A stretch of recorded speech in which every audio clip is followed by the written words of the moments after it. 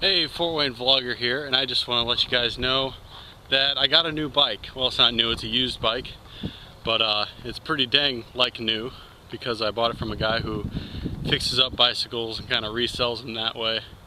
Uh, got it from a guy in New Haven. Uh, his name's Glenn, and him and his wife, he fixes bicycles. His wife kind of does the business side of things. Anyway, I got this new bike. I'm in Shoaff Park today.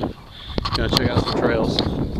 This is a Mongoose. Uh, I forget what the exact thing was. This is a 2007 bicycle though. I'll put on the screen what it actually is. But it's got dual disc brakes, one in the front and disc brakes in the back as well. And it's got, he put on new cables, brake cables and everything. It's a 24 speed. This one goes up to 8 and this one goes up to 3. Obviously making it 24 speed. Um, what else about this? The seat goes up and down, that's so special. Uh, yeah, it's got this weird frame on it. Uh, the suspension back here, dual suspension as well. Got the suspension in the front and in the rear. Uh, kind of like that, it looks pretty nifty. It's got a coil spring there. And then these pedals are just pedals. oh, uh, quick release uh, tires, which are nice for the front and the back. And a water bottle holder.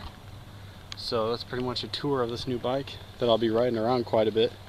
I want to get to, uh, I want to go to Franke Park to do some stuff too because I've actually never been there on the trails there and I guess one of my friends, Scott, he rides like the trails there all the time and I guess there's some beginner ones and some expert ones too for some like mountain biking and jumps and whatnot so I'll have to visit there sometime but that's my new bike.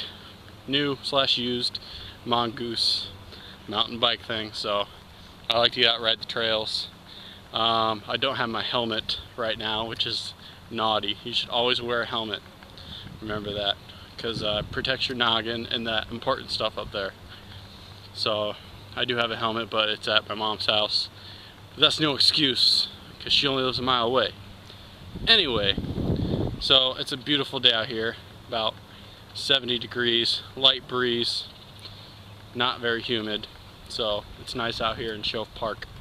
So be sure to subscribe uh, if you want some like I don't know biking videos do more Fort Wayne stuff. So uh, yeah be sure to subscribe keep along join the fun